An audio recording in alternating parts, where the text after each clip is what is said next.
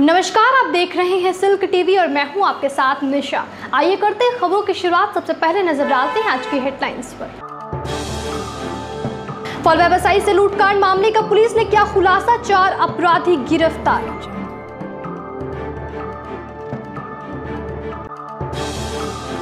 चौदह जुलाई से शुरू हो रहे विश्व प्रसिद्ध श्रावणी मेला की तैयारियों का जायजा लेने सुल्तानगंज पहुँचे डीआईजी उद्घाटन स्थल का किया निरीक्षण। रंगरसियों पर युवक ने लगाया पत्नी के अपहरण का आरोप, पीड़ित ने एसपी को आवेदन देकर लगाई न्याय की गुहार।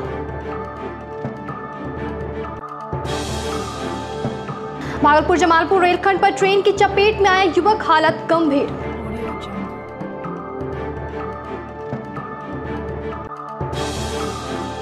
और जहांगीरपुर, वैसी में कटाव जारी, दर्जनों घर हुआ कोसी नदी में विलीन पलायन जारी।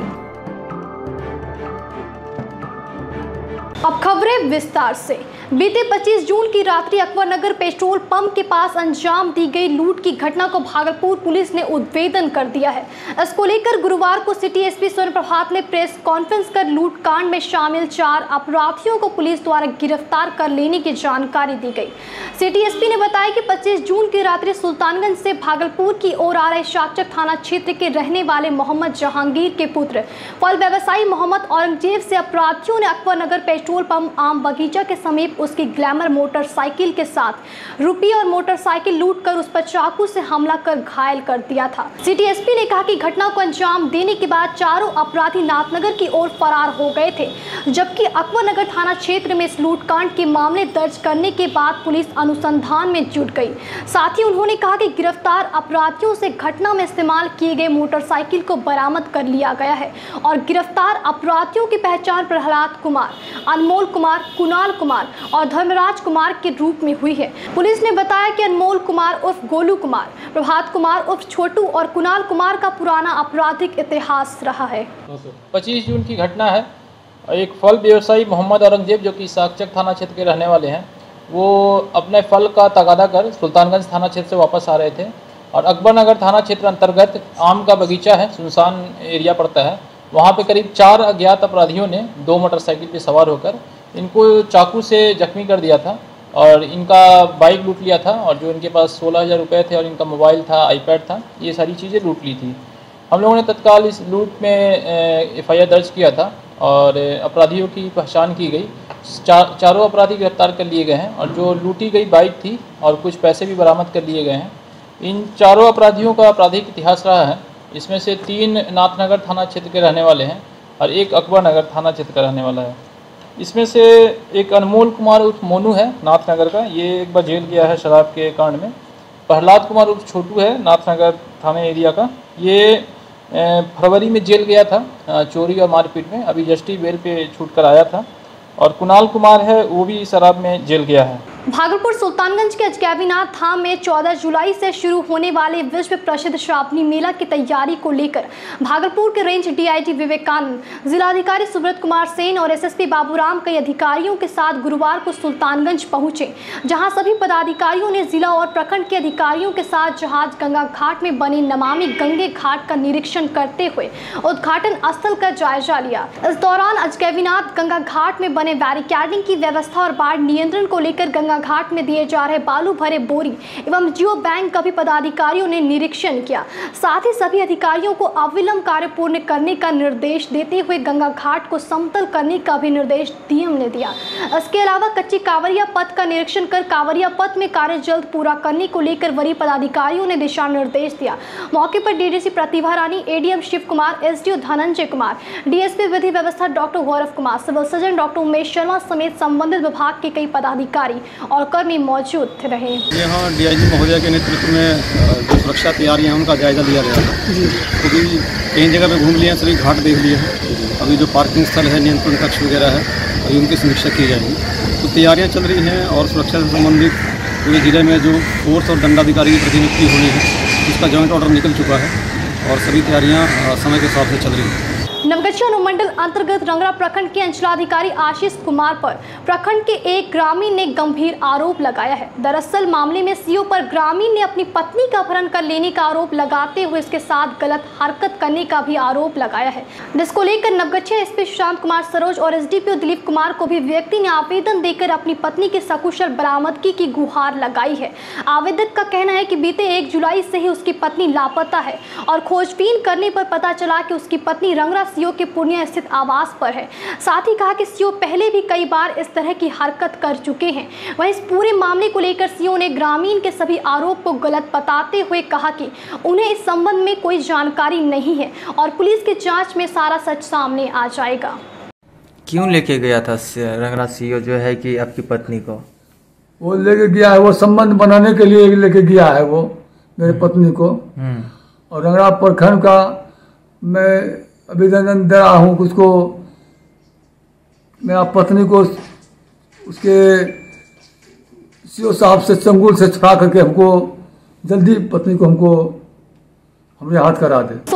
भागलपुर रेलखंड अंतर्गत तिलकपुर गाँव के समीप ट्रेन की चपेट में आने से एक युवक गंभीर रूप से घायल हो गया जिसकी पहचान तिलकपुर गाँव निवासी स्वर्गीय बुद्धन मंडल के पुत्र घनश्याम मंडल के रूप में हुई है। वहीं इस घटना की सूचना मिलते ही सुल्तानगंज थाना की पुलिस मौके पर पहुँची और घायल युवक को स्थानीय लोगों की मदद से इलाज के लिए सुल्तानगंज रेफर अस्पताल में भर्ती कराया जहाँ प्राथमिक उपचार के बाद गंभीर हालत में चिकित्सकों ने बेहतर इलाज के लिए भागलपुर रेफर कर दिया। क्या कैसे क्या घटना हुआ है बयार जा रहा था उधर। चौर की तरफ़। किस तरफ़? दक्षिण की तरफ़ बयार पड़ता है हम सबका। तो बिहार में जाने के इसका थोड़ा दिमाग छोटा है। ट्रेन से कैसे इसको झटका लग गया? जो घायल हो गया। घायल हो गया। क्या नाम है इसका? घनश्याम मंडल। घर कहाँ इसका? तिलकपुर। मानसिक संतुलन खो बैठा है हाँ दिमाग कुछ करक है। क्या नाम है आपका? सुभाष मंडल। आप गोपालपुर विधानसभा अंतर्गत रंगरा प्रखंड के जहांगीरपुर वैसी गाँव में लगातार कोसी का कटाव जारी है जिसके कारण अब तक 30 से 40 घर कोसी में समा चुके हैं। वहीं से परेशान गाँव वाले अब घर के सभी सामानों के साथ पलायन कर ऊँचे स्थानों पर जाने को विवश हैं जबकि दूसरी जगह पलायन कर रहे लोगों को अपने सामानों के साथ अपने जान माल की चिंता भी सता रही है। इसको लेकर ग्रामीणों ने बताया कि घर के बचे सामान के साथ मकान से तोड़े गए ईट को भी साथ में ले जा रहे हैं। ताकि अगर सरकार उन लोगों को जगह देती है तो फिर से नया आशियाना बनाया जा सके। ग्रामीणों का कहना है कि अब तक उन लोगों को सरकार की ओर से किसी तरह की कोई सुविधा नहीं दी जा रही है, जिससे उन्हें ठीक से एक समय का भोजन भी नसीब नहीं हो रहा है। साथ ही ग्रामीणों ने इस तराहीमान की स्थिति में भी ज़िले के किसी वरीय पदाधिकारियों के द्वारा अब तक कटाव पीड़ितों का हाल जानने नहीं पहुँचने का आरोप भी लगाया। घर खाली करने आप देख रहे हैं, पूरा एक दीवार तो चली गए हमारे घर में। कुछ ईट भी बच जाए तो आगे नसीब में होगा तो कभी बना सकेंगे या ना बनाए।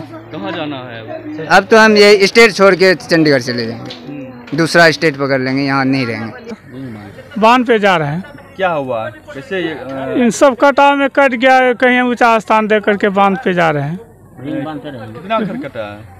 घर तो लगभग बीस घर कट गया है। बीस घर कट के नदी में चला गया है। कोई अधिकारी सांसद नेता? कोई नहीं आया है। अब वक्त तो चला एक छोटे से ब्रेक का फ़ौरन लौटेंगे देखते रहिए सिल्क टीवी।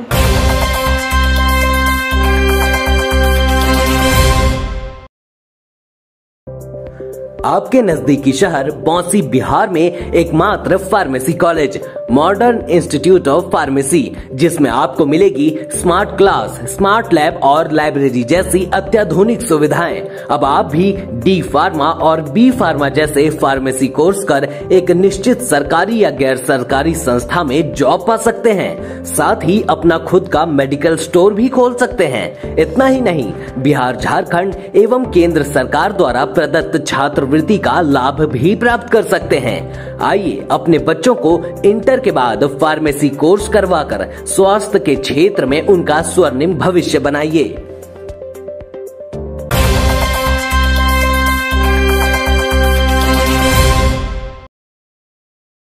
ब्रेक के बाद फिर से एक बार आपका स्वागत है। बढ़ते हैं अगली खबर की ओर।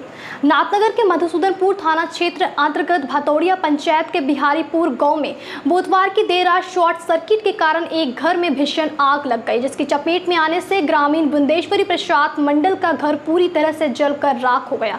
वैसे आगजनी की घटना में घर वालों ने भागकर अपनी जान बचा ली, लेकिन घर का सारा सामान जलकर खाक हो गया। घटना को लेकर पीड़ित बुंदेश्वरी मंडल ने बताया कि घर में रखे अनाज और कपड़े के साथ मवेशी का चारा, बच्चों की किताब समेत सब कुछ जलकर राख हो गया। हालाँकि बाद में ग्रामीणों के प्रयास से आग पर काबू पा लिया गया। इधर पंचायत के मुखिया मीठा नारायण मंडल ने बताया कि इस घटना की जानकारी नाथनगर सीओ को दे दी गई है और जल्द ही पीड़ित परिवार को नियम अनुसार सरकारी मदद मुहैया कराई जाएगी।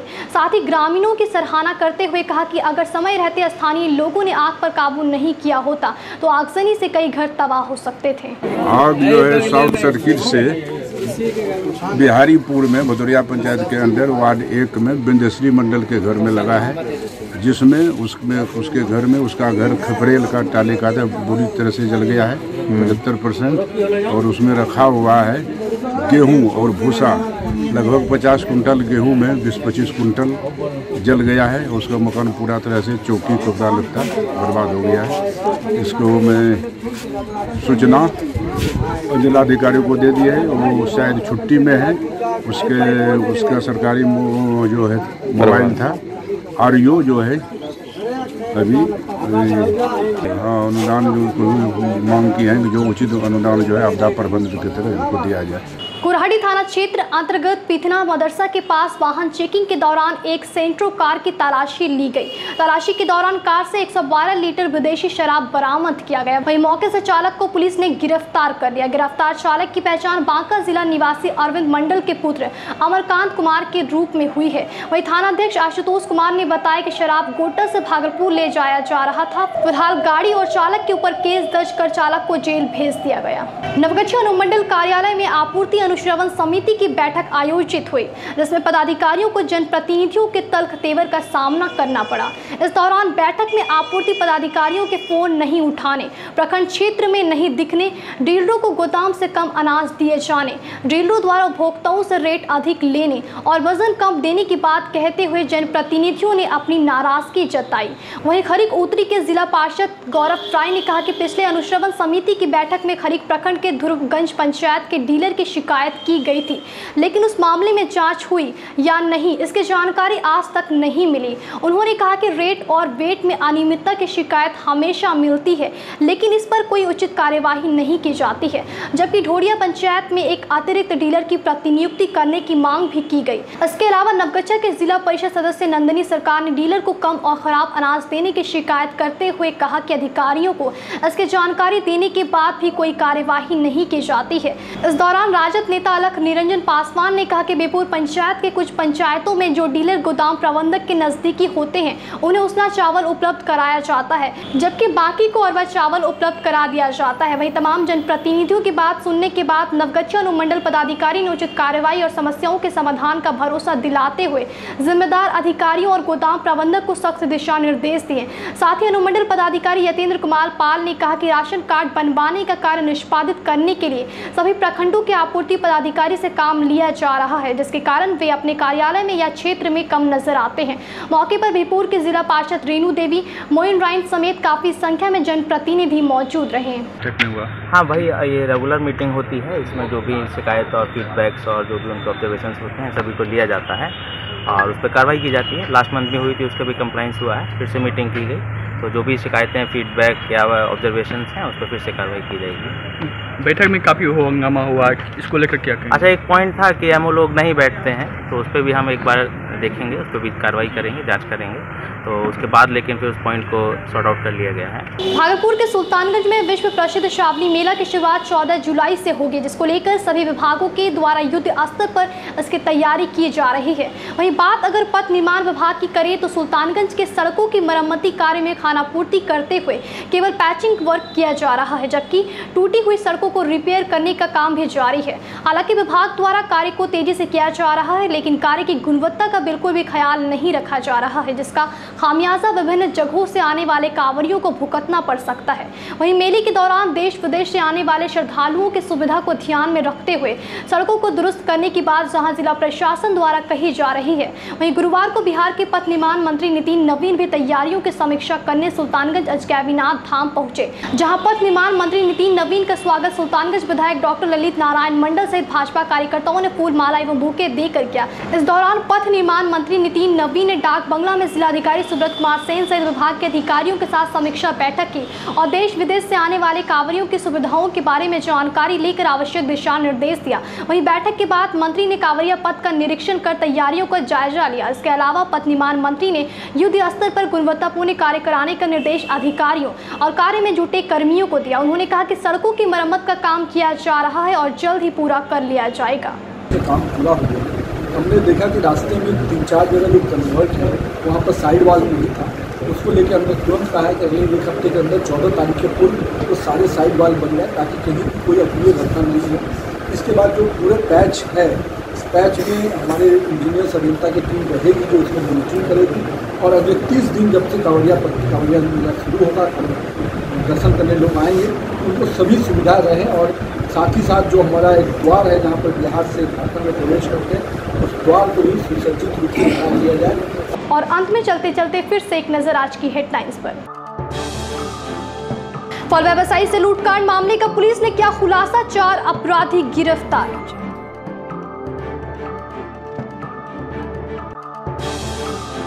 चौदह जुलाई से शुरू हो रहे विश्व प्रसिद्ध श्रावणी मेला की तैयारियों का जायजा लेने सुल्तानगंज पहुँचे डीआईजी उद्घाटन स्थल का किया निरीक्षण।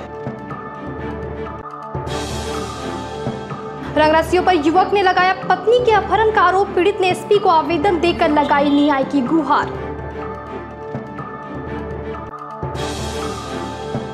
भागलपुर जमालपुर रेलखंड पर ट्रेन की चपेट में आया युवक, हालत गंभीर।